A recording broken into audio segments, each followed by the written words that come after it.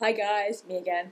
Uh, today's topic seems to be health. Um, so with that in mind, I wanted to link you to my friend Gemma's page here. Go to it, go, go, go. Uh, basically, she's got a team together for uh, Movember. If you don't know what Movember is, uh, Movember is essentially, uh, it runs for the whole month of November, and you basically sponsor a person or um, a group of people to grow mustaches. Okay? Uh, so they shave on midnight on the 31st, and then they just keep it growing until the end.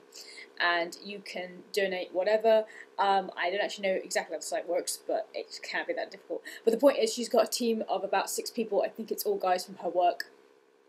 And they're all raising money for uh, prostate cancer and men's uh, health.